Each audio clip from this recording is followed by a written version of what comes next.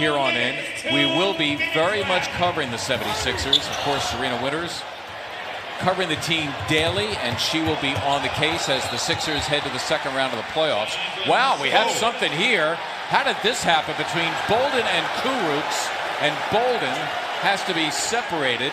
TJ McConnell, his teammate, is on him.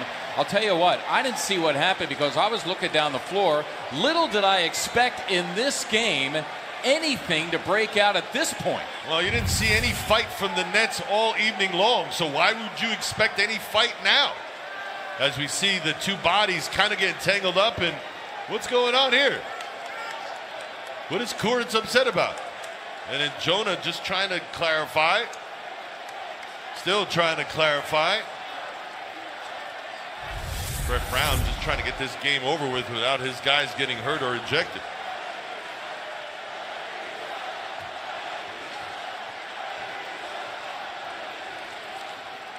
So let me say this.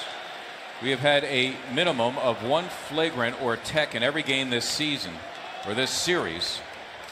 The four game totals three flagrants, eight technical fouls, two ejections. And I thought we were going to go scot free through this one. We've seen some of the lamest, we were breezing. lamest altercations. Again, Kurucs not quite sure what he's doing there. Your, beef is with the referee who didn't call the foul on you. Huh? Here's the way it went through the previous five games, four games, I should say, this being game number five.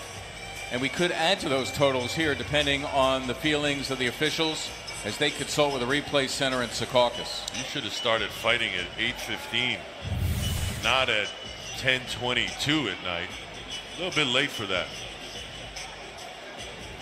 Well, so that was Bolden and his momentum being carried into Kurucs, and Kurucs thinking that he tried to pancake him against the stanchion.